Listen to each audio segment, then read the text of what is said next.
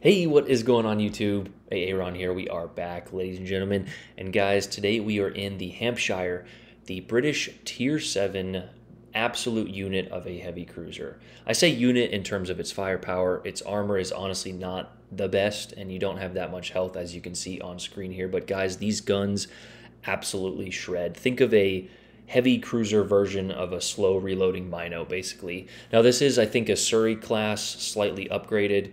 Unfortunately, you don't have HE, but again, you don't really need it. Uh, as always, stats and commander guide at the end of the video. And just once again, you know, talking about the Heisen, the Anchorage, the Hampshire, and the Vallejo. All of the stats of these ships could change when they come to the game in their full released form. Uh, if you guys did not know, you should. This is one of four rental ships. I just mentioned the other three available in the store for a thousand doubloons a piece. But let's get to the game because this is a pretty good game, which shows you how strong this ship can be. And honestly, guys, I have yet to lose in this ship. Uh, I will throw up the stats at one point or another, but 14 games all solo because that seems to matter to some people with 100% win rate. Now, of course, that will change. 14 games is definitely not enough to judge a ship, but regardless of that, I hope Wargaming does not change the stats of this ship because I absolutely adore this ship. I think it's a perfect test of your skill as a cruiser captain, but also you can hugely impact games and, and you know if you get broadsides and just different things like that. But that being said, we are taking a defensive position here. This is one of the many games I've actually been getting recently. I feel like you either get four destroyers or no destroyers, but I am, you know, I'd much rather have no destroyers. So here we are. But as a result of that, we do not have the necessary spotting.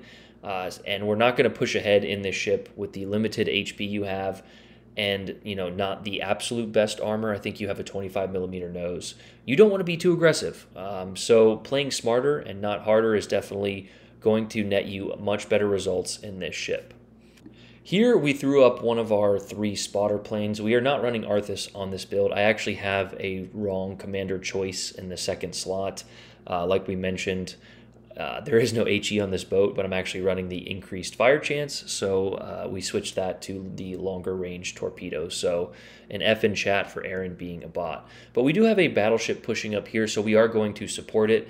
This thing's acceleration from like from zero to half is pretty good, but getting from half to full you're a little sluggish. Uh, and again, this thing is not the most maneuverable, but if you think about your position, and here is just one of those salvos, boom, four pens, one citadel, one overpen. Um, the four, the citadel is included in one of those pens, but but we all knew that, right? And two salvos there in, in right around seven and a half seconds, and that mines he, has gone. Now, this was a, a missed shot here because he hit the island, but if we could have gotten RNG on our side for a few of those, and you couple that with potentially an epic reload or legendary mod, and you can just see the DPM and, and alpha strike that you can pump out every seven seconds. Uh, you, you, again, you couple that with a, a reload mod, you could probably get that down to five, you know, maxed out. Also, uh, notable is shooting at targets at long range uh, you get some of the most obnoxious citadels. Now, whether that is plunging fire or you know just the massive pen that these shells have, I don't know. But uh, we, we, shot at a P bag tonight, and I think later on we actually do get a pretty cheeky citadel on this New Orleans. But you will notice that our team is actually pretty weak on the opposite flank, and again applying the principles of logic, which is something that a lot of the player base just doesn't have anymore we're going to go support the weak side. We could go up the middle, but again, the ship is not the most maneuverable. You're going to want to utilize island cover, and I know that is going to be difficult for some of my super alpha manly men, uh, but unless you want to blow up, you either need to utilize island cover, a division mate with a smokescreen, or potentially an agile build so you don't get hit. I, again, I never recommend agile builds except for maybe the Italian cruisers, just because I don't think that the trade off is worth it.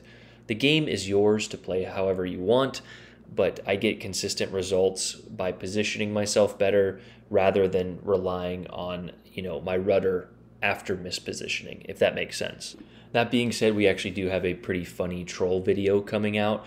I don't know why I'm having more fun uh, trolling than I am, you know, playing the game. I guess it's just I've reached that point you know, in my uh, YouTube slash warships career. But uh, I guess I'm just tired of people that potentially look like this, thinking that they know everything while constantly not performing uh, in you know the ships that they're talking about. But regardless of that, if you were in stream tonight, you'll know what I'm talking about, and we will have a, a funny video coming out. So stay tuned for that. But anyway, back to the game here we are pushing our way to the opposite flank. We have a few battleships we can see on the mini map are all kind of clustered up there, and we honestly just have to wait for them to push. If we push into that, we are absolutely dead. There's no capture points over there, and there's no cover. Uh, now, you do have good concealment in this cruiser. We are running concealment mod with Mikawa as an inspiration, and like I said, commander guide at the end of the video. Uh, so you do have, you know, the concealment on your side, but but if you push into that, you're, you're dead. And we have a great example of this later on towards the end of the video where we almost throw this game. But our teammate does a good job of getting a 1v1 trade. Sometimes that's actually all you can ask for of your random teammates. Especially on a team like this where you can see that winning was probably not uh, top on their priority list. I think they were having a lot of fun as it uh, is now a 4v7. Well, 4v6 now. But the good news is we do have a few battleships out in front of us here, able to spot those battleships. And at this point in the game is generally when those passive enemy ships tend to push. So we have a pretty good crossfire setup here, and we just have to do what the ship does best. There's there's not much else we can do. Uh, but what the ship does best, and she does it very well, is DPM. Uh, and we're going to have that crossfire and, and this position set up nicely here. We're going to go ahead and take a few of these salvos, but you, we, we really want to remain protected by this island cover here, as we talked about earlier on. You don't have the best armor. Now, you can angle this belt if you get yourself into a defensive kiting position, but uh, here is, is probably the highlight of the video here is abusing this Vanguard. But don't worry, we get this ship into multiple situations, which shows you the full tool belt that this ship, uh, you know, does possess. Torpedoes, decent armor. We get spotted here, and we're saying, I literally said on stream, it's the cruiser behind me pushing up the middle, and there she is. The Algier has pushed her way, and at this point, I realized that this thing actually has two 360 degree turrets. As you can see, they're moving in the back there. We get three of them off, or I think two, I'm not exactly sure, and we pop a beautiful double citadel with the four total penetrations there on that Algier. And that is when that Algier realizes we mean business with this AP and he decides to angle up. But it doesn't matter, and in the meantime, we're actually looking using our torpedoes to judge the direction of that enemy vanguard. Uh, and it doesn't matter though, because uh, you know the AP on the Chalgier, because those penetration angles, he is nearly fully angled, and we're still getting penetrations. Now, of course, we're aiming high, trying to get that upper belt. And good night, thanks for playing. He was full health when he rounded that corner. He wasn't, you know, he, he angled decently well, but the AP absolutely shredded him. And as we were just mentioning, the full tool belt of this ship in terms of utility, here are the torpedoes. Guys, don't don't watch now, but Aaron connects a few torpedoes. We go ahead and launch the first one long. You generally, after battleship players see that first torpedo, they tend to stop. And here we just get probably one of my favorite salvos 11, 12K on, on that, that Vanguard's broadside. And we're already reloaded. Again, can you imagine if we could get full broadsides like that all the time? Now, uh, you will have to give up angle in order to do so in this Vanguard. Probably, you know. could have potentially done more damage to me, but it doesn't matter because we connect two torpedoes and good night. Thanks for playing. Now you will notice that we are still down on score, so we will either have to get a kill or get a few seconds in their base in order to get the win in this game. That being said, the Amagi is, is going to be a little bit of a tougher opponent that those Japanese battleships, as you guys learned in stream tonight, if you can position them well, they are plenty good uh, in their own regard uh, in terms of armor and in terms of guns. Uh, usually, unless a ship is, you know, completely just like the Z44 to me, um, all ships have their different traits and perks, which generally, especially if they're tech tree wargaming, is going to keep them relatively balanced just on a side note. Again, make sure you guys stay tuned for our other troll video. We've, we've got a few of them coming out, but there is that Amagi. He's not being aggressive with it.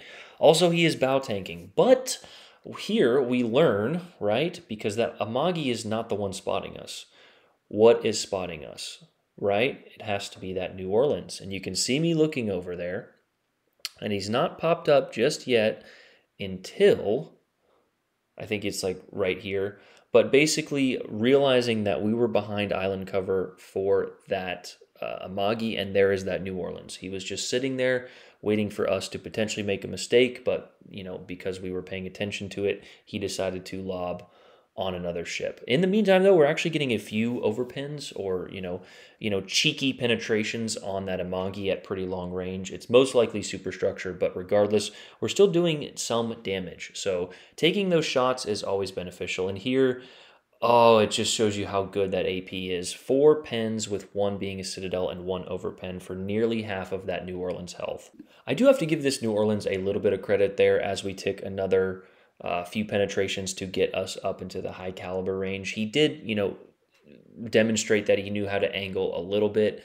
The AP probably would have been more effective there. We actually we've gotten railed a few times. Um, I actually got crossfired by some gentlemen at 19 kilometers and almost almost fully deleted. So make sure you're paying attention to your broadside. This thing is is not as forgiving as some other ships are. Now the Citadel is towards the back, uh, similar to a few of the other British heavies, but you have to uh, be very careful when sailing, you know, trying to get all guns on target. Here, though, we're waiting to make sure that we don't overcommit, that Iowa was last spotted moving this way. So we're just trying to get the kill on the New Orleans and then sail off into the sunset for the victory. Now, as some of the trolls like to uh, to state on my stream tonight, it may appear as if I am damage hunting, and I am to a certain extent, but that is the only option I have in this game. But you will notice that we damage hunted, which is not what we did, on our terms. We put our ship in the right spot, positioning, utilizing island cover, waiting for the enemy to make mistakes in order to give our team the advantage the game mode is capture the base, so there's really no point or there's there's no objectives other than potentially getting in the base. And we know on Two Brothers, it's basically team deathmatch. So what we have done is we've given our team an advantage, and now we can play a little bit with our health, uh, you know, pending the the battleships in order to push into this New Orleans here. You know, given that we have the concealment advantage, in order to give our team the points lead the game is not that difficult and understanding these things yes it will take some time but after a while of you know constantly losing or wondering why you're getting 500 xp per game you start to look at things. And i, I very early on in this game i remember just seeing players like we had a, a, a destroyer sail directly into a battleship and, and just throw the game. It's like why do that right? You know why not use your concealment advantage but there we spot the plane from the New Orleans, so we know that he is close. We hope it's the New Orleans, and here I have no idea what he was doing. He angled and that previous engagement, but for this engagement, he is as wide open as a sorority girl on Halloween or pretty much any event. And here comes a salvo from that Iowa. So we get the New Orleans, we get the point trade, but unfortunately, that Iowa has us detected due to our uh, gun firing penalty. Now we know that we will be inside of our concealment, but we just need ourselves to go dark. You can see me saying on stream there, just go dark. And we do. Thank goodness for our concealment. I'm also trying to look at what our uh, concealment by plane is, but it's it's generally pretty good if your concealment is pretty good. And we do have our team moving in to take some shots off of this guy, but with how low we are, I can't risk shooting here. I really wanted to, and I should have just kept reversing but I didn't know who was going to be spotting that guy, and it really doesn't matter. We don't need the kill here, although this guy has decided to sit in the back and utilize all of his health, not really until the last 60 seconds. If you're in close games, and I've said this before, your ship's health should match the, the, the, the time in the game, right?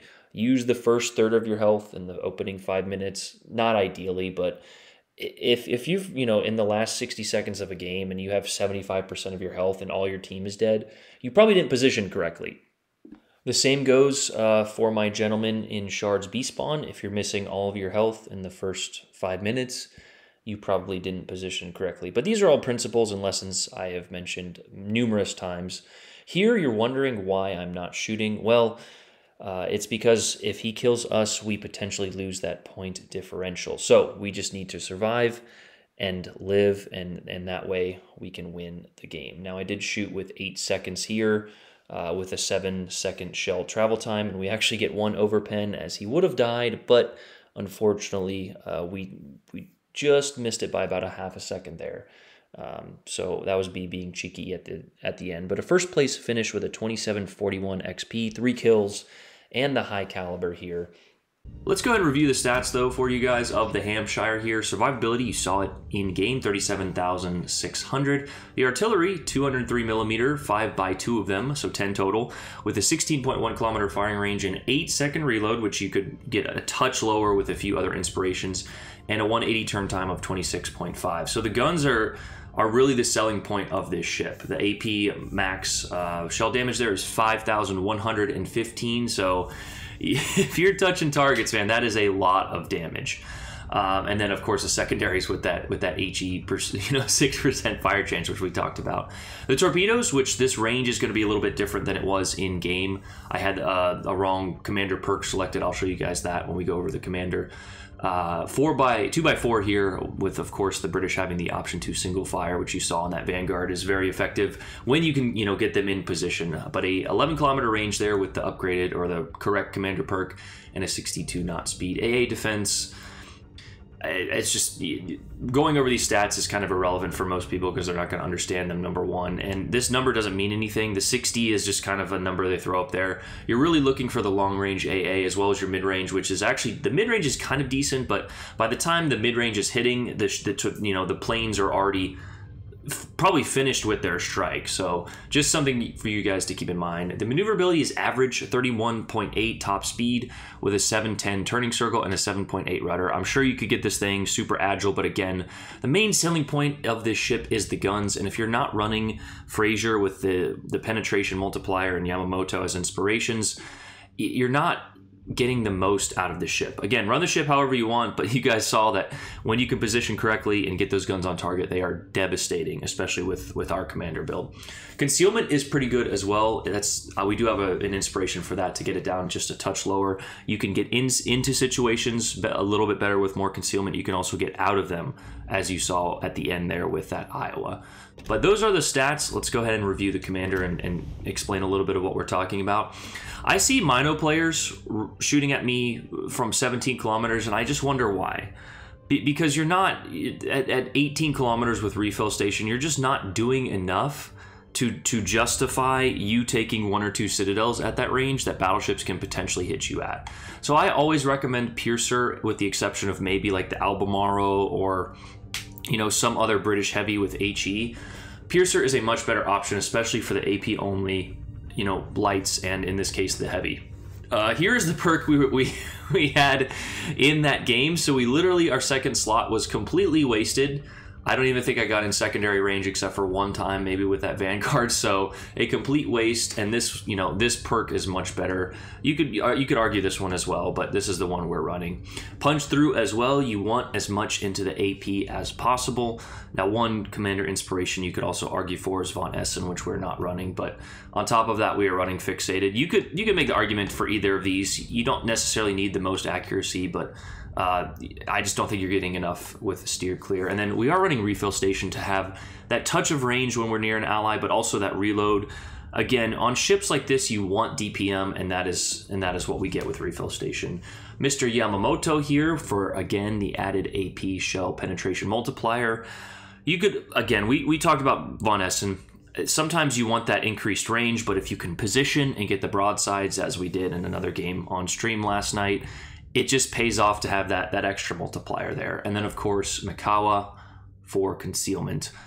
This is just how I'm building the ship. It doesn't make it, you know, completely right, but that is just how I'm building, you know, like I just said, how I'm building the ship and, and what I think is most effective. I'm building into the strengths and and you know, negating a few of its weaknesses there in terms of you know, weak armor. And speaking of armor, after we go over our modifications here, we will why do I have why do I have this in my secondary? Oh, oh, I don't. I clicked on the first modification slot. I was wondering, I was like, why do I have secondaries? Aiming systems, steering, because you can't have anything else. You could I, I would run steering over that. Concealment, and then reload, of course. Uh, but let's take a look at the armor so I can show you guys kind of what I'm talking about here. The nose, you've got a, oh, I don't know why it's all deselected, but uh, the nose is 25 millimeters here, and it takes up a large portion of the front of that ship. That's probably how we got touched by the Iowa. That, or the Iowa simply overmatched the 27, which is surrounding this boat. This is a floating tin can, guys. So if you can angle, like we talked about that, those defensive positions, you could potentially bounce a few of the shells off of your Citadel belts. You've got, what, what is it, 120... 152. So you, you, can bounce things off that Citadel belt if you're angled, but they're probably just going to be overmatching your 27 if they're 406s. If not, then yes, you can you can angle against that. But with how weak that 25 is all over the ship, this is a tin can. I, I don't, you know, be expecting for this thing to explode. Like we talked about, I, I got yeeted uh, one of my games across map and that is the reason why. A moderately large citadel. Now, you are protected, like we talked about. A good portion of that citadel is not shown in the front, so if you're aiming at this ship, smokestack and back. Uh, so, yeah, but uh, guys, that is the Hampshire Surgical Shells Sequential and Flare for piercing. I really enjoy this ship. I don't think a lot of, you know, the the, the people who have to play the Weimar to have a good game are going to enjoy this ship because it takes a little bit of skill. Uh, but that being said, if you can get yourself in the right spots, you can get the broadsides, and you can you know think and breathe at the same time and, and, and get into position. I think this ship is really fun. It's it's a it's breaking the mold a little bit for me. I'm sure in, in 10 weeks I won't play it that much, but for right now it's a fun rental. And again, of course, the stats could change with the rentals. But if you're looking for the rentals in the store, I've already gone over this, but I'm on my console now, so we can show you here. Go over to the ships tab, hit RT or RB, and then RT all the way over for ships for test. And we have yet to rent the Vallejo. That will be the next one on my list. And yeah, here they are. You get seven days for a thousand doubloons. Not the not the best deal in my opinion, but that's just what it is. Hope you guys had a great uh, time watching this video, and I hope you have a great day. I love you guys. Uh, take it easy. Aaron out. Peace.